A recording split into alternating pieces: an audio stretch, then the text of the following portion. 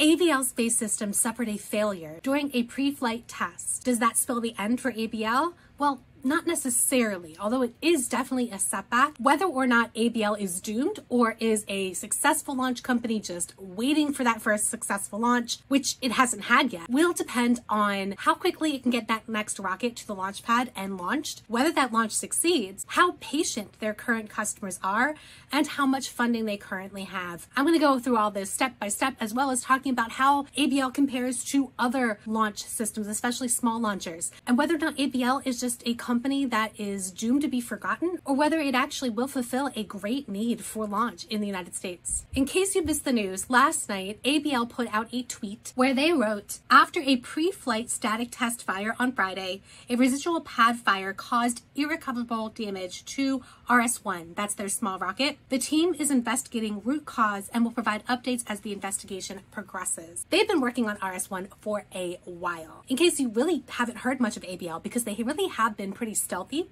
ABL was founded in 2017. So it's a seven-year-old company. I first heard about them back when I was doing work for Camden Spaceport. I had wrapped up some consulting work with them the year before, and ABL signed a contract to launch out of Camden.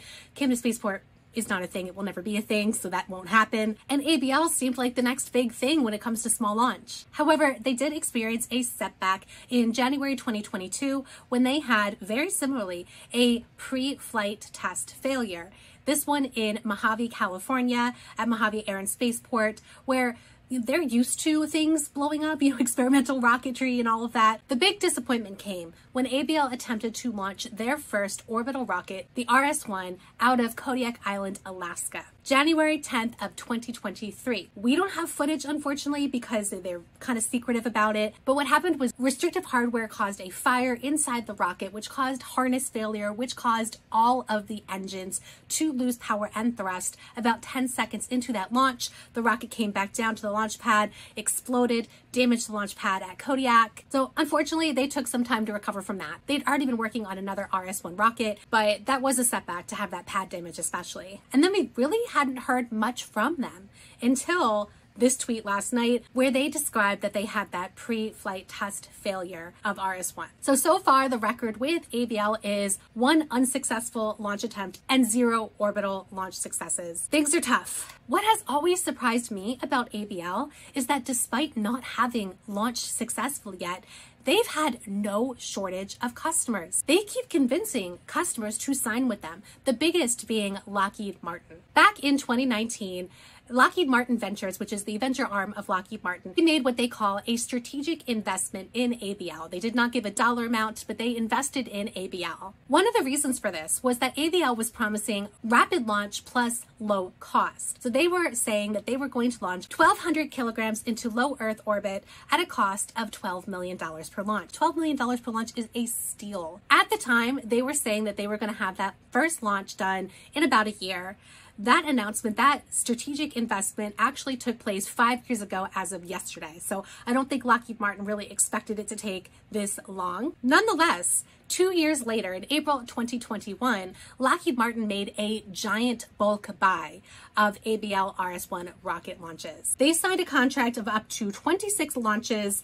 through 2025 and an additional 32 launches from 2026 through 2029 58 possible launches in total. I don't know what the contract says if they don't even launch one rocket by the end of 2025. That is still a significant investment and that is something that ABL could take to investors and say, we have a customer who's willing to launch with us 58 times. We have this significant backlog, so you should invest with us. Like that is a major win for a tiny company like this. Another big name signed with ABL back in November of 2021, that was Amazon. Amazon has its Project Kuiper satellites. It needs to launch thousands of them. It signed with ABL to launch two prototypes, that's the KuiperSat 1 and KuiperSat 2, to low Earth orbit by the fourth quarter, the end of 2022. Spoiler alert, that didn't happen. And so what we see is that some clients are willing to be patient and some clients are not. And Amazon has reasons for not being patient. Go ahead and check out this video I recently did on Project Kuiper and why Amazon really does need to start launching these satellites soon, although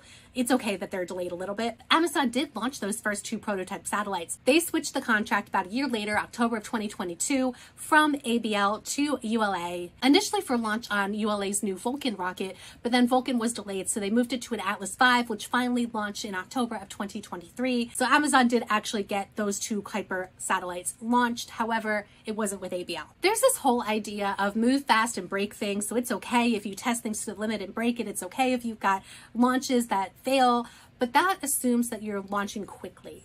And ABL is just not moving very quickly here. Back when ABL was coming out of stealth mode in 2018, 2019, they were saying that they were going to have their first launch done in 2020. But it wasn't until 2023 that they had their first launch attempt. That was a failure. Now here we are a year and a half later and they haven't had that second launch attempt yet. In October 2023, the president of the company was saying that they wanted to launch by the end of 2023. I don't know what happened to that schedule. This failure on Friday was a test failure. It was not a launch failure. So I don't know when in 2024 they were actually planning to launch that rocket that is now destroyed. Regardless, not, they are now set back even further. I don't know if they have another RS-1 rocket that is ready to go through testing and launch and whether or not they can accomplish that by the end of this year.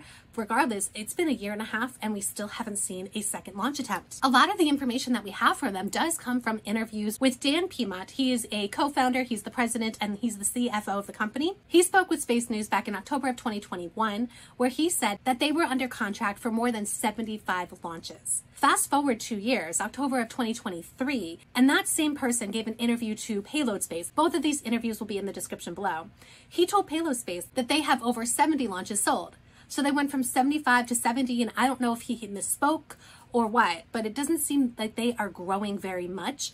Understandably so. Most customers are not willing to sign with a company that doesn't have a proven track record yet. But there are always exceptions. So Earlier this year in March, Scout Space, a small startup, signed with ABL to launch its Owlet 1 telescope. And the reason they signed with ABL is because they expected to have that satellite launched by the end of this year, by the end of 2024. And they had considered SpaceX, they had considered a rideshare transporter mission through SpaceX, but they said they would have to wait over a year. I don't believe that Scout's going to have that telescope launched by the end of this year. Tell me what you think. But it, it seems to me that Scout took a risk in signing with a company that was not yet proven.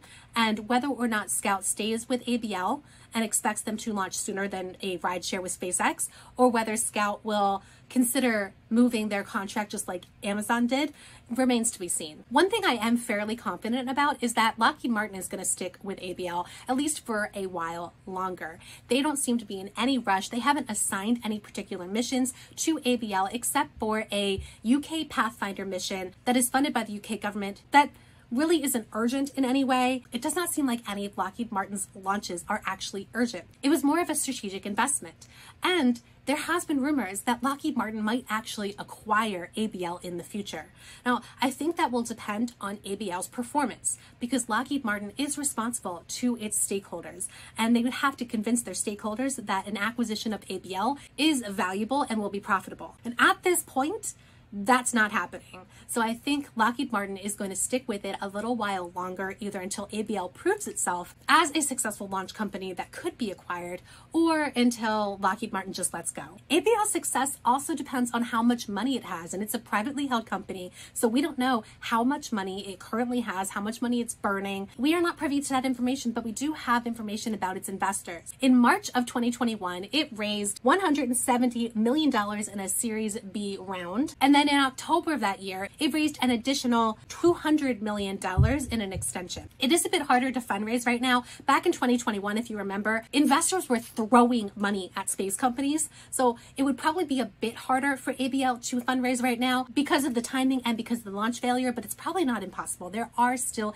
investments that are happening in launch companies in particular. We also know that the US government has invested in ABL space. March of 2023, there was a strategic funding increase Space investment, where the U.S. Air Force and the U.S. Space Force gave ABL $30 million in an agreement where $30 million would come from investors. Now, I mentioned that ABL has been around since 2017 and has yet to launch a successful mission. Is that something to be worried about? Well, yes and no, right? They do need to prove themselves at some point, but if you look at comparable space companies, you can see that they're not too terribly off track with what we've seen in recent history. For example, SpaceX. They were founded in 2002. They had three launch failures over a two and a half year period until they finally had their first successful Falcon launch September 28th, 2008. That was six and a half years after SpaceX's founding. Firefly is another comparable company. They're usually lumped together, these smaller launch companies. Firefly was founded, if you look at Firefly Space Systems, it was founded in 2014 later became Firefly Aerospace. They had two launch failures over two years before they had a successful launch on September 15th of 2023, and that was nine and a half years after founding. They went through a lot of turmoil in that nine and a half years, by the way. Rocket Lab, one of the more successful launch companies in the world right now. They were founded in 2006. They had one launch failure before they succeeded in launching for the first time on January 21st of 2018